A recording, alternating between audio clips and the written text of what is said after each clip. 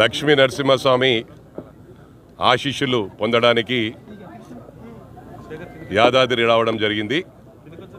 ముఖ్యంగా రేపు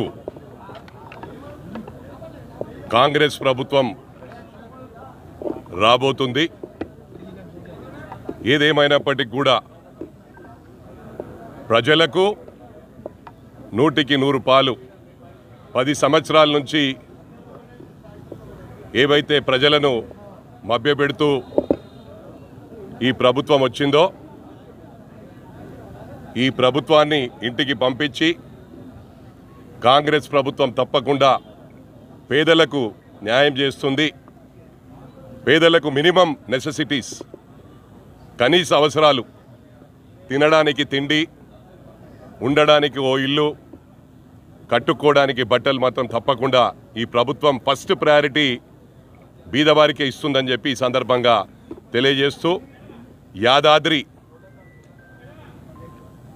లో లక్ష్మీ నరసింహస్వామి సన్నిధిలో చెప్పబోతా ఉన్నాను తప్పకుండా ప్రజలకు న్యాయం జరుగుతుందని చెప్పి సందర్భంగా తెలియజేస్తాను అంటే ఊహించని విధంగా మినిమం సెవెంటీ సీట్స్ రానున్నాయి. గాలి విపరీతంగా ఉంది. మరి చెప్పలేం ఎయిటీ ఎయిటీ ఫైవ్ వరకు కూడా పోవచ్చు అని చెప్పి ఈ సందర్భంగా తెలియజేస్తాను థ్యాంక్ యూ ఇప్పుడు ఒకరి గురించి మాట్లాడే అవసరం లేదు. వాళ్ళు డిమారలైజ్ అయిపోయారు. గత వారం పది రోజుల నుంచే ఒకటి ఏంటంటే ఈ యాదాద్రి సన్నిధిలో లక్ష్మీ నరసింహస్వామిని కోరేది ఒకటే. ఫ్యూచర్లో డబ్బులతో రాజకీయాలు ఉండొద్దని చెప్పి లక్ష్మీ నరసింహస్వామిని కోరుతా ఉన్నాను. ఎందుకంటే బీద వాళ్ళు కూడా చాలామంది సర్వీస్ చేసే వాళ్ళు ఉన్నారు. రాజకీయంగా ఎదగాలి ప్రజలకు సేవ చేయాలనుకునేవారు ఈరోజు వెనుకబడిపోతూ ఉన్నారు కాబట్టి ఈరోజు డబ్బులకు న్యాయానికి మధ్య పోరాటం జరిగింది. తప్పకుండా న్యాయమే గెలుస్తుంది.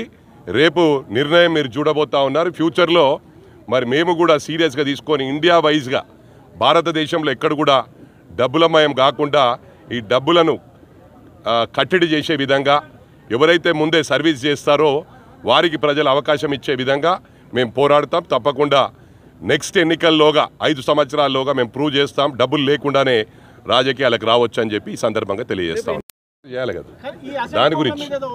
అంటే మీరు అర్థం చేసుకోవాలా? క్యాబినెట్ అయితే ఎట్లయినా ఉండాలి కదా? అట్లా.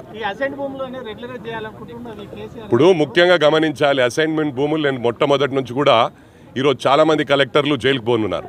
ఎందుకంటే అసైన్మెంట్ భూములు బెనామీల పేర్ల మీద మరి పాస్బుక్లు ఇవ్వడం జరిగింది. చాలామంది కలెక్టర్లు. ఎవరైతే వీరి మాటిని తప్పుడు చేశారో తప్పకుండా వాళ్ళు భయప్రాంతులు అవుతా ఉన్నారు ఆల్రెడీ. వాళ్ళందరూ కూడా జైలుకు పోనున్నారని చెప్పి కూడా ఈ సందర్భంగా తెలియదు